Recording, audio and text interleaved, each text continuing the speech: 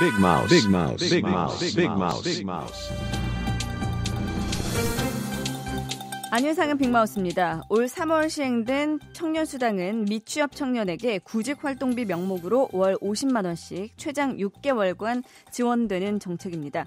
청년의 구직활동을 폭넓게 보장하다는 취지에서 유흥주점, 성인용품점 등 일부 제한 업종 외에는 어디든 쓸 수 있도록 했는데요.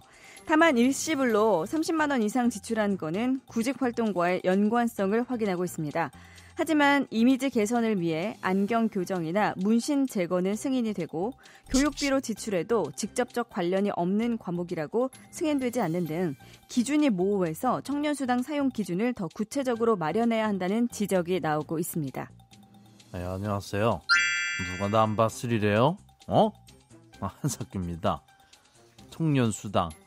구직 활동을 하는 청년들에게는 담비 같은 돈입니다. 취업을 준비하는데 돈이 많이 들어요. 배울 것도 많고 옷차림이나 외모에도 최소한의 투자는 해줘야 사회생활이 가능한 건데 알람으로 쓴다고 스마트워치 사놓고 누가 구직 활동이래 찾고 있는 직업이 겉멋 연구원입니까? 어? 또 그걸로 여자친구 선물 사주고 누가 구직 활동이라고 하세요? 이런 남자친구가 직업이에요? 어? 안녕하세요. 정문질생 구디제이 정재영이에요. 어머, 스마트워치가 왜요? 여자친구 선물은 왜 안 되는데요? 누구나 개인적인 그런 특별한 상황이 있는데 여자친구한테 선물 사주고 사랑이 퐁퐁 차올라서 훨씬 더 긍정적이고 의욕적인 마인드로 면접에 임했다면 큰 도움 된 거 아니겠어요? 그 하긴 그렇게 따지면 구직 활동이랑 관련 없는 지출이 없겠네요. 스트레스 풀려고 술 한잔 한 것도 관련 있는 게 되겠네. 성인용품도 갖다 붙이면 다 되는 거 아니에요? 어, 뭐랄까, 음, 그, 자신감 키우기. 그치? 출산율 하락으로 대학에 입학하는 연령대 인구가 급감했습니다.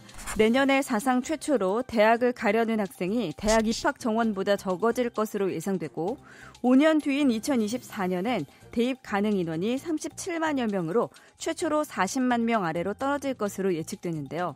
정부는 대학 정원을 인위적으로 감축하는 기존의 방식을 폐기하고 대신 정원 조정을 대학 자율에 맡기기로 했습니다.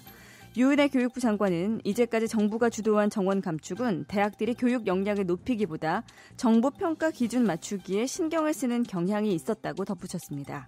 예, 안녕하십니까. 봉해 페르소나 송강호입니다. 뭐 대학 가려는 사람 수보다 말이야 대학 정원 수가 더 많다. 그 얘기를 듣더니 말이에요. 그 고등학생 아들 표정이 확 펴요. 에? 뭐 대학 가긴 많이 쉬워지겠구나 이렇게 판단이 됐나 본데. 아들아, 내가 팩트 폭력 하나만 해도 되겠느냐? 응? 그 대학 정원이 아무리 그 뭐 넉넉해도 말이야. 좋은 대학교 들어가기 힘든 거는 똑같이 힘들어요. 에? 아무 데나 가도 되면 대학 때문에 이 나라가 이 난리가 되겠느냐? 아, 혹시 아들아, 그냥 대학은 아무 데나 갈 생각이었던 게야. 어? 아버지가 하도 대학 대학 하니까 에헤이 뭐, 먹고 떨어지세요. 뭐 이런 느낌이었던 거야? 어? 야, 아들아. 너는 다 계획이 있구나. 응? 뭐 그런데 그, 그 계획의 목적이 혹시 뭐 이 아버지의 뭐 속을 빵하고 뭐 어? 터지게 하는 거야? 어? 호텔에 홀로 머물며 철저하게 고립된 휴가를 보내는 2030 호콕족이 늘고 있습니다. 호캉스는 주로 호텔에서 가족, 친구와 어울리며 수영, 스파를 함께 즐기는 개념인데 비해 호콕족은 호텔에서 혼자 시간을 보내거나 방에서 아예 나오지 않으며 고립감을 즐기는 건데요. 서희종 서울대 사회학과 교수는 2030 세대는 직장 생활, 인간 관계에 따르는 대면 소통에 큰 피로감과 스트레스를 느낀다면서 집도 벗어나 사람들과 만나는 상황을 최소화하고 심적 휴식을 취함으로써 해방감을 느끼려는 것이라고 설명했습니다. 네, 안녕하십니까. 부러운 게 많은 남자, MB입니다. INBU 할때 NB예요. M자가 아니고 저는 알파벳을 N을 쓰는 NB입니다. 방금 뭐라고 했어요? 방콕 아니고 무슨 콕? 호콕? 오늘은 호콕 쪽이만 부럽다. 그런 생각을 갖고 있습니다. 옆에 있는 사람이 아무도 신경 안 쓰고 아무도 막 배려 안 하고 내 하고 싶은 대로 다 할 수 있는 시간 막 필요합니다. 네, 이런 얘기하면 뭐, 그그뭐 원래 옆에 있는 사람 별로 신경 쓰지 않고 배려하는 편도 아니면서 뭐 그게요 이런 맛 사람도 있는데요 오해라는 확신을 막 갖고 있는 거 있습니다 저는. 물론 내가 내 맘대로 하긴 해요. 하지만 그게 하고 눈치 보고 신경을 매우 써요. 티, 티가 안 나서 그런 거죠 혼자서 많이 생각해 내가. 극한데 그럴 필요도 없는 것이다. 그러한 자유를 위해 투자한다. 진심으로 매우 부러운 것입니다 저는. 이게 다 그렇게 막 혹혹하고 있지 않을 때는 굉장히 많이 배려하고 엄청 많이 막 양보하고 더불어 살기 위한 예심을 발휘하려고 막 극하는 거 아니겠어요?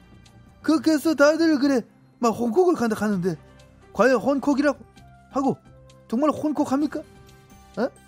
아마 혼콕 아니다 혼콕하는 척 하는 사람도 분명히 있을 것이다. 제가 이걸 왜 하느냐? 얘는 외로움을 좀 타서 다 알고 있습니다. 여러분 이거 다 거짓말이라는 걸 아시죠?